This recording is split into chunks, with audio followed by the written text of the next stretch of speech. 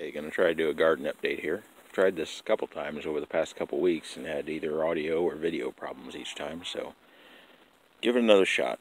Starting here at the grotto. Don't really have anything much in here anymore. Something just stripped the lettuce. I don't know if that was bugs or chickens or what it was, but um, and the radishes I planted in here just went straight to seed. They never really had a chance. It just was too dry and, and hot too quick for them. But I might get some carrots out of it, so. Um, the mint's still growing here, and, and uh, the walking onions are in good shape, making a lot of seed pods. I don't know if I've, now I can't remember what I mentioned in the last one that I didn't use, but anyway. Um, my mom said they've been picking off these bulbs, these onion sets that form at the top. They've been picking those off and uh, sauteing those or stir frying them or something. So I might have to try that one of these days. Alright, over to the other garden. Alright, I'm in the main garden here and um, still got some asparagus to pick. I probably won't be picking it much longer, but I'm still getting some good sized asparagus. I have let some of the I have let some skinny ones go start growing as plants. Um, but I think I'll still pick it one or two more times here.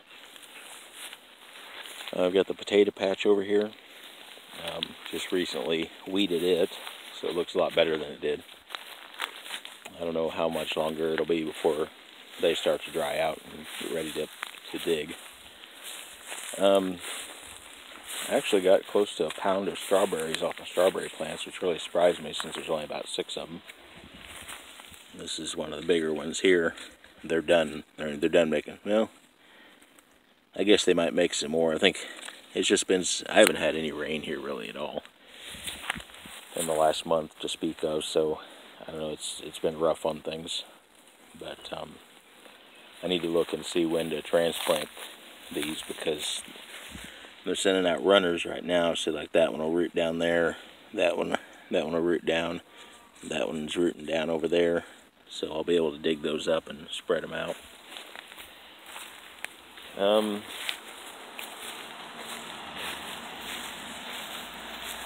this area out here, part of it I put down plastic. Um, probably can't really tell, but this area in here I put down plastic to kill off the weeds. And then the rest of it out in there I went ahead and used the tiller, but I just I tilled really shallow just to basically knock down the weeds, most of them. You can tell there's a few still standing. But um, I didn't want to work the soil any more than I had to. It's kind of been my, my goal this year. But um, went ahead and used it just kind of to, just to break up the weeds because it's been as dry as it's been. You can't really pull weeds; they just break off. So um, I did that, and I'll end up planting stuff out in there. I don't know just what yet, beans and various things.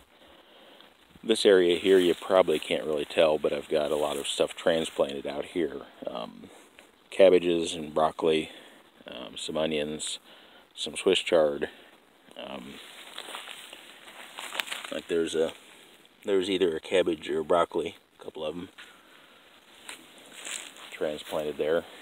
It's been, really I was expecting we had like a couple of 70 degree or seven, couple of 70% rain days that that rain not not at all. So um, I was expecting some rain on this stuff. I'll probably end up watering it again tonight. Try to keep some of them alive. Um, the beans under the trellis here, the ones that came up, are doing okay.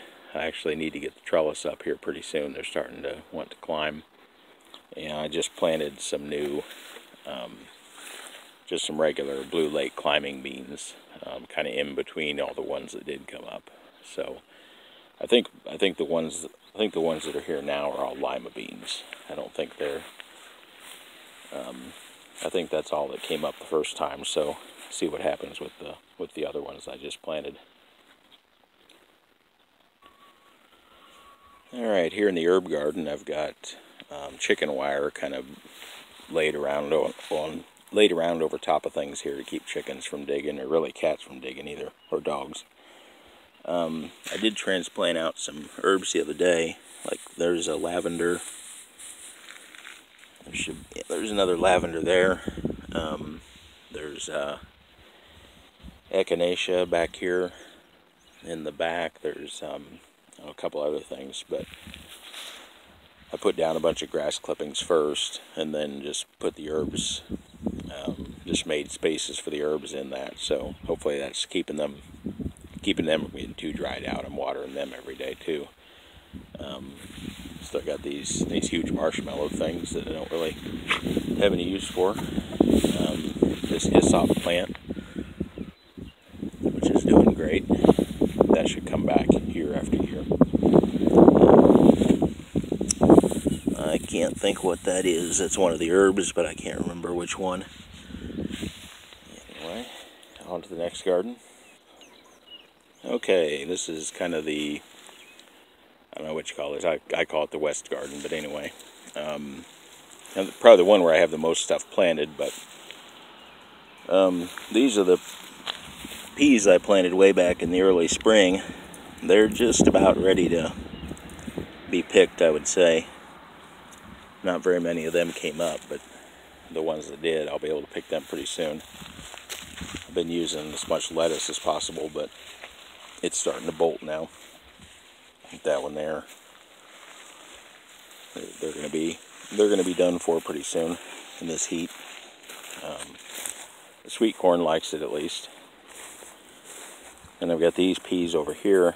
The funny thing is, if you compare these peas to the peas I planted early over there, um, these are just starting to set on pods.